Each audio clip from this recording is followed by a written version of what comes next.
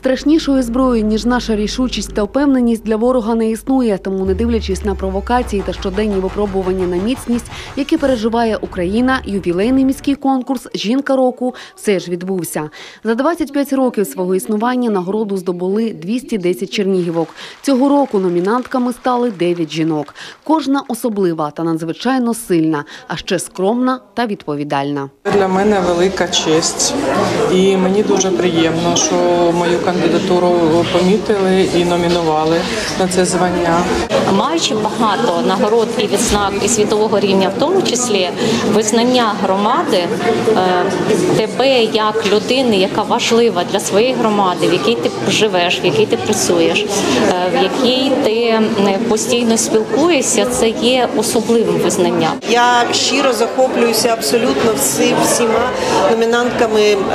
Кожна настільки проявила себе свою громадянську позицію під час е, тих же бойових дій активної фази на території Чернігівської області. Для мене це щиро велика честь. Ці жінки під час активних бойових дій боролися з ворогом в тилу, надавали необхідну допомогу як цивільним, так і військовим, та проявили себе як справжні українки. Жінки, які до- рятували дітей у пологовому будинку у підвалі, приймали роди, перевозили дітей через бурхливу холодну десну, щоб врятувати життя цих немовлят. Чернігівський міський голова багато років підтримує цей конкурс, оскільки вважає, що це неабиякий стимул для кожної жінки рухатись вперед. Владислава Трошенко знову відвідав захід, аби особисто подякувати героїням за їх внесок в нашу спільну перемогу. Я знаходжусь е, тут е, за покликом серця, і я вже в тому віці я казав, що е, як чоловік я не тільки е, закуплюватися зовнішнім виглядом жінки, але вміє вже е, цінувати е, е, якості жінки. Хочу подякувати також Збройні Сили України за те, що дають можливість нам в умовах війни.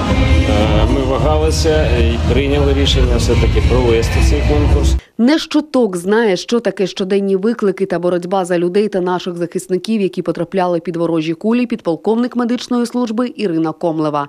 Вона із своєю бригадою медиків першою опинялася в тих місцях, де тільки закінчилися страшні бої, і де просто тут і зараз потрібно рятувати життя. Перемогу кує не тільки фронт, перемогу кує і тил.